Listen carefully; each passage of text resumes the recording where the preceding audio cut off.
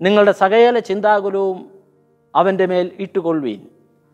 Cast your burdens upon the lord പുരാതന യവന കപ്പലുകളിൽ യാത്രക്കാർ സഞ്ചരി സഞ്ചരിക്കുന്ന വേളയിൽ അവർക്കിരിക്കുവാനായിട്ട് പ്രത്യേക സ്ഥലവും അവരുടെ ഭാരങ്ങൾ ലഗേജസ് വയ്ക്കുവാനായിട്ട് മറ്റൊരു പ്രത്യേക സ്ഥാനവും ഉണ്ടായിരുന്നു.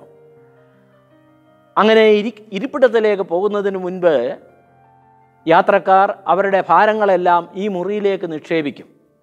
അതെടുത്തെറിയുന്നതായുള്ള അവസരത്തിൽ അവിടെ അത് അടുക്കാനും പറക്കാനും നിൽക്കുന്നവന്റെ ദേഹത്ത് വീഴുകയോ കാലയിൽ വീഴുകയോ ഒക്കെ ചെയ്യുന്ന പതിവുണ്ടായിരുന്നു. മാത്രമല്ല അവൻ ഇത് അടുക്കി പറക്കുന്നതായ അവസരത്തിൽ അവന്റെ ദേഹത്ത് തന്നെ ഈ ഭാരങ്ങൾ വീഴുമായിരുന്നു.